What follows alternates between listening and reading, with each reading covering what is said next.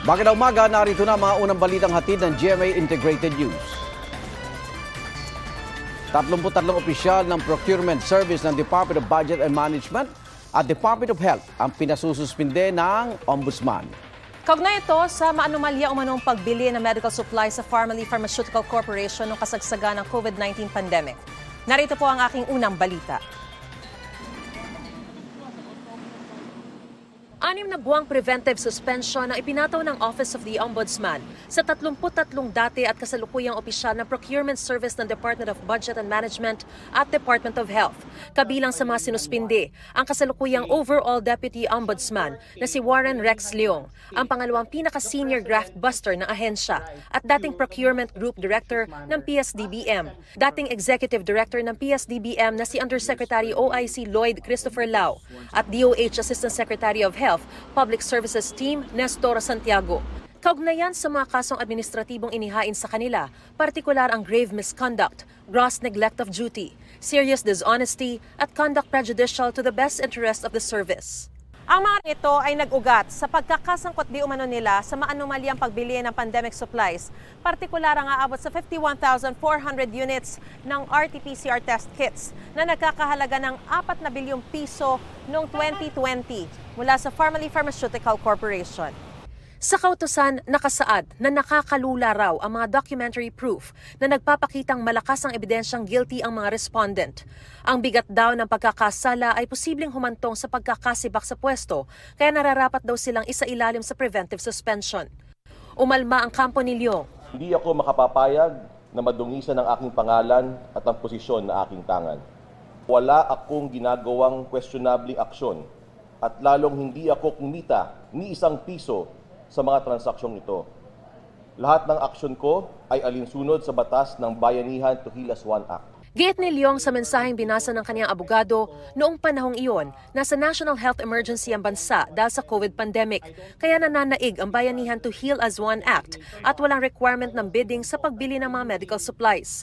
Kahit daw si Leong ang nooy director ng procurement service ng Department of Budget and Management, hindi pa rin siya pinuno at hindi rin siya kabilang sa mga nag-procure ng medical supplies.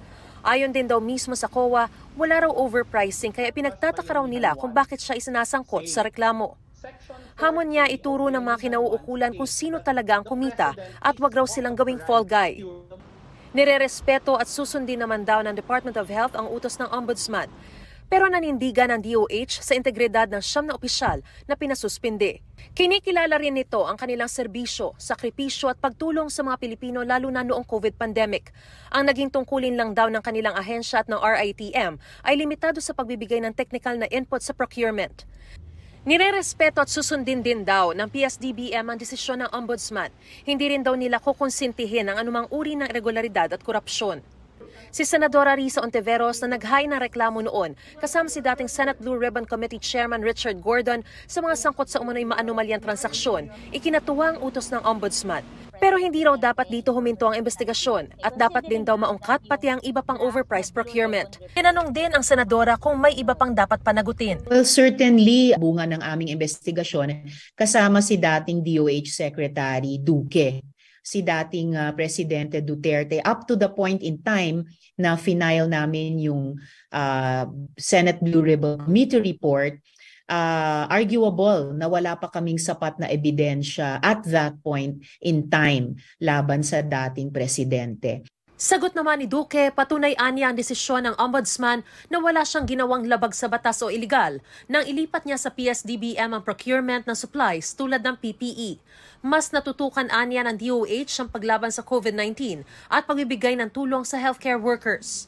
Kaugnay naman sa sinabi ni Leong na ang Bayanihan to Heal as One Act ang nananaig noon kaya di kinakailangan ng bidding. Common sense at saka common uh, good faith and due diligence nino mang opisina tulad ng PSDBM, opisina ng gobyerno to get value for money.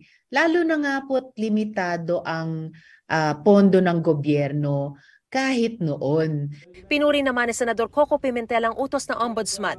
Pero kailangan pa rin aniyang masusing mabantayan ang magiging pinal na desisyon ng Ombudsman sa kaso. Ikinatuwa rin ni dating Senador Gordon ang desisyon ng ombudsman. a fitting culmination to the Blue Ribbon Committee's colossal efforts in exposing the anomalous purchase of overpriced masks if they were delivered at all, personal protective equipment and other vital supplies Kapuso, mauna ka sa mga balita. Panoorin ang unang balita sa unang hirit at iba pang award-winning newscast sa youtube.com slash News. I-click lang ang subscribe button. Sa mga kapuso naman abroad, maaari kaming masubaybayan sa GMA Pinoy TV at www.gmanews.tv.